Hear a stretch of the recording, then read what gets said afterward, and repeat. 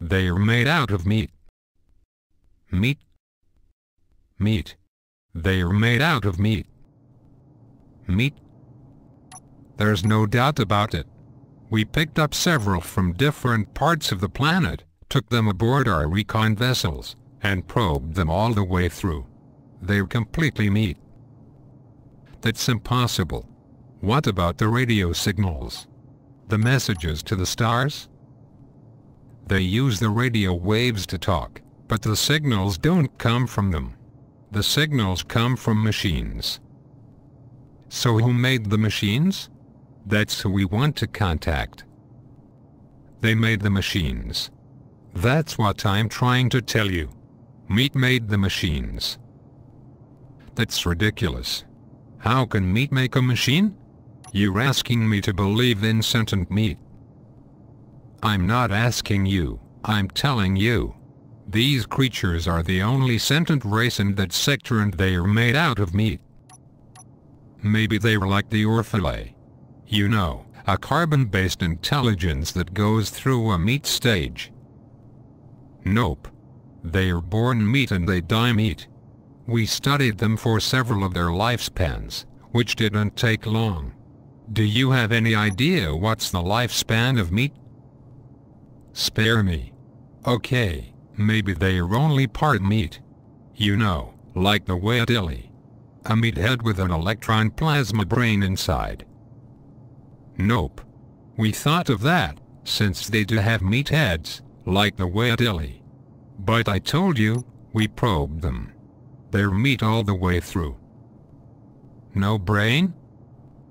Oh, there's a brain alright. It's just that the brain is made out of meat. That's what I've been trying to tell you. So, what does the thinking? You're not understanding, are you? You're refusing to deal with what I'm telling you. The brain does the thinking. The meat. Thinking meat. You're asking me to believe in thinking meat. Yes, thinking meat. Conscious meat. Loving meat. Dreaming meat. The meat is the whole deal. Are you beginning to get the picture or do I have to start all over? My god. You're serious then. They are made out of meat. Thank you. Finally. Yes. They are indeed made out of meat. And they've been trying to get in touch with us for almost a hundred of their years. My god. So what does this in mind?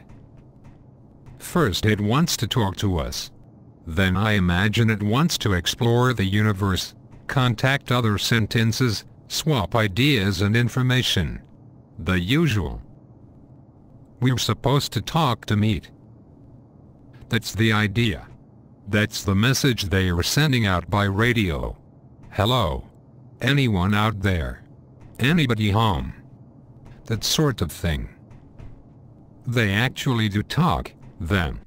They use words, ideas, concepts. Oh, yes. Except they do it with meat. I thought you just told me they used radio. They do, but what do you think is on the radio? Meat sounds. You know how when you slap or flap meat, it makes a noise. They talk by flapping their meat at each other. They can even sing by squirting air through their meat. Ami god. Singing meat. This is altogether too much. So what do you advise? Officially or unofficially? Both. Officially, we are required to contact, welcome and log in any and all sentient races or multi-beings in this quadrant of the universe, without prejudice, fear or favor. Unofficially, I advise that we erase the records and forget the whole thing. I was hoping you would say that. It seems harsh, but there is a limit.